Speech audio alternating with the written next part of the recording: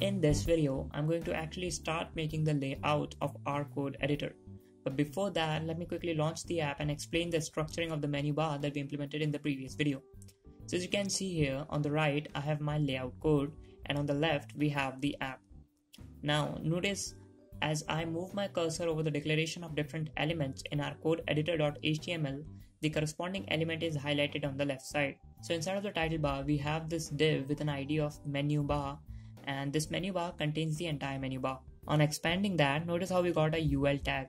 So this shows that all the options like file, view, edit, etc. are nothing more than a list.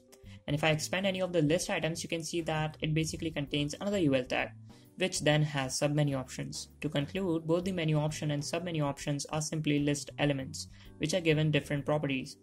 You can actually see that when I expand the nested UL tag. And also notice that we have this one li tag with a class separator. This basically acts as a separating line. Okay, so that's it for the menu structuring. Now let's see how the code dynamically changes when I click over any one of those options. So let's say I click on this file option. Notice on the right suddenly a class called active menu is attached to the list item.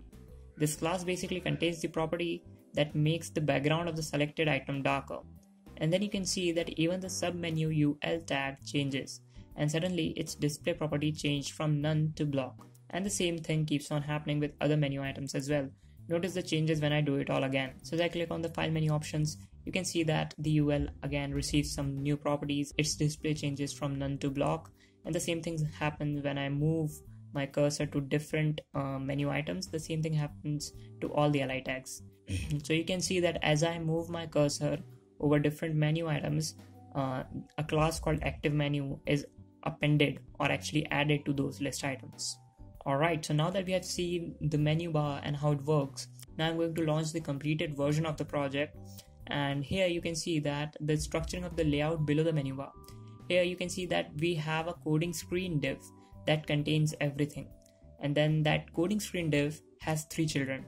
You can see that as I hover over each one of these respective divs, the area corresponding to that div gets highlighted. So coding screen has three children. The leftmost one is a div with a class Explorer container and Explorer container styles.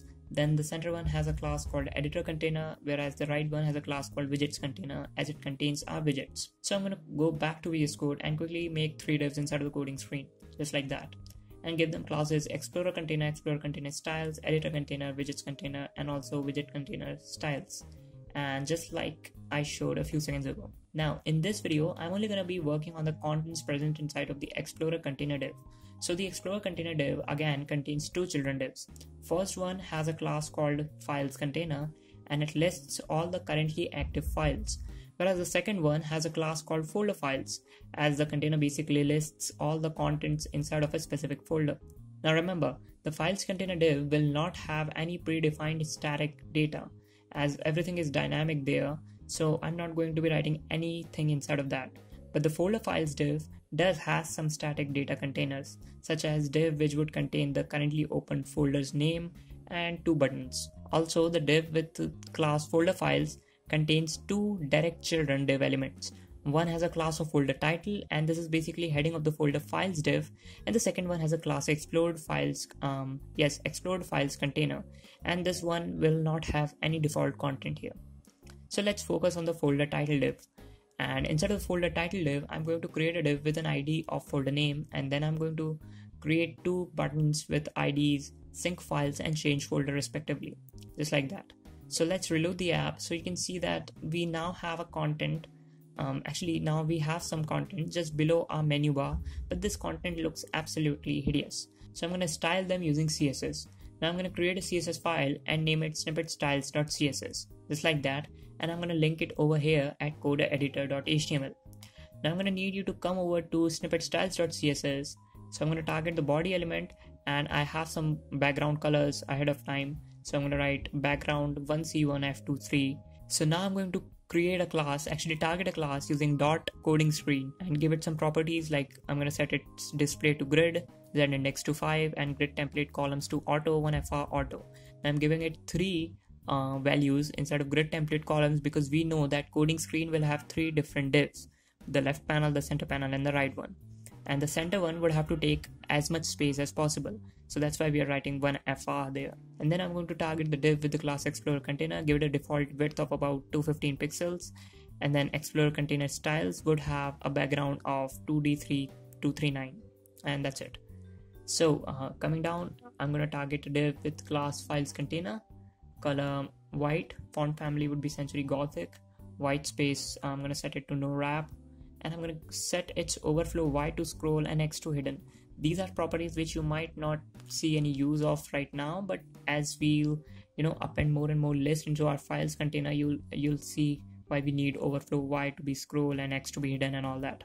I'm also going to say max height to 250 pixels. Mm, right below, I'm going to target the div with the class folder files, and I'm going to write background 1c1 f23.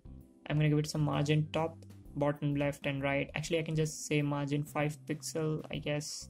So um, i'm just going to write margin top 5 margin bottom 5 left and right. All of them to be 5 pixels.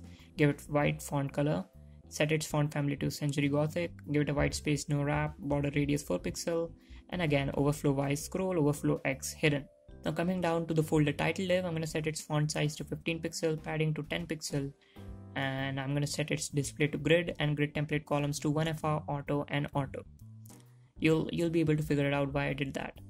And then I'm going to target the divs with IDs, folder name, and sync files. So first of all, let me just target the div with the ID folder name. So the way I do that is by saying hashtag folder name. Now this is the way you target an ID in CSS if you don't know that already.